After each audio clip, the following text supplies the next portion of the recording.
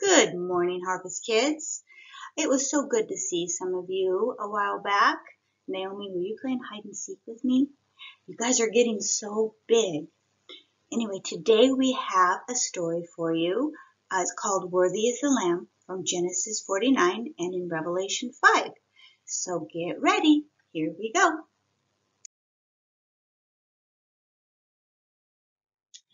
Worthy is the Lamb. When Jacob was on his deathbed, he called his twelve sons and said, Gather yourselves together so I can tell you what will happen to you in the days to come. Then, starting with his oldest son Reuben, Jacob gave each son a prophecy about his future. When he came to Judah, Jacob said, Judah is a lion's cub, and the scepter of leadership shall not depart from Judah this meant that the leaders of Israel would come from Judah's family. We know that Judah died, but a ruler did come from his family who fulfilled Jacob's word about his son.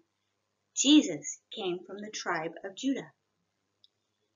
But Jesus didn't stay in the tomb like other kings of Judah. He rose again and went back to his Father in heaven to hold the scepter of leadership forever. Years later, when the Apostle John was very old, the Roman emperor sent him to the island of Patmos as a punishment for his faith. While he was on that island, God sent an angel to John in a vision. He told John how the prophecy God first gave Jacob would be fulfilled by Jesus. John wrote down the vision in which we now call the book of Revelation. In John's vision, God held a small scroll sealed with seven seals. John wrote, I saw a strong angel proclaiming with a loud voice, who is, who is worthy to open the scroll and break its seals?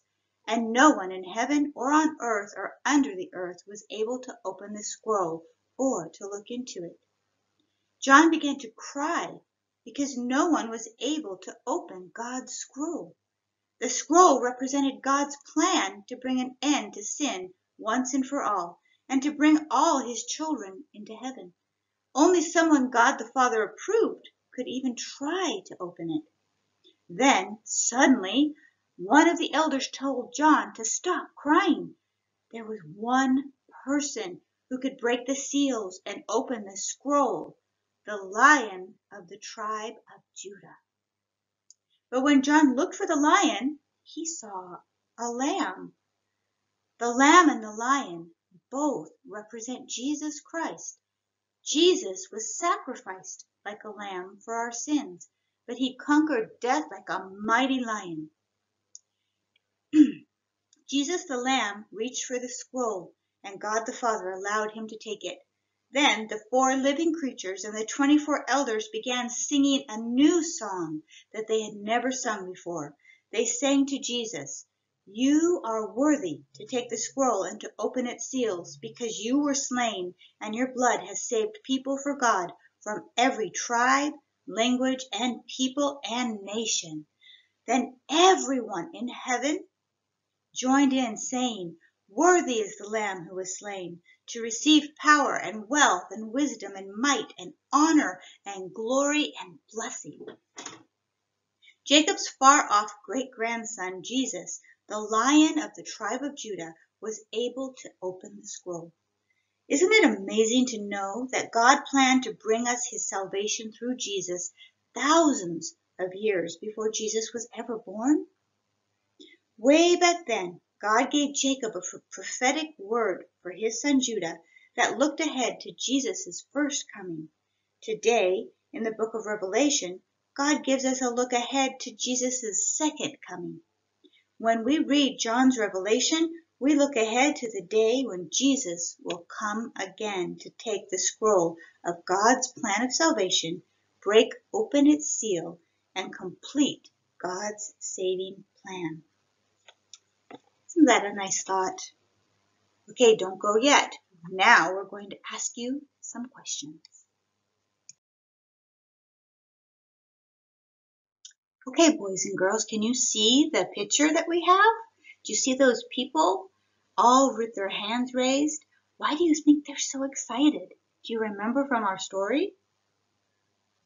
They're so excited because Jesus was able to open God's scroll. And in our story, they called, John called Jesus the Lamb of God. Does anybody remember why he is a lamb? Because he was sacrificed for our sins, like they sacrificed lambs. But he's also called a lion. Does anybody remember why he was called a lion? He's a lion because lions are big and strong. He was called a lion because he conquered death. All right, boys and girls, I hope you enjoyed the story and I hope to see you again next week. Um, if you have any comments or anything, go ahead and leave them in the below, comments below the video. And until then, just remember, you are loved.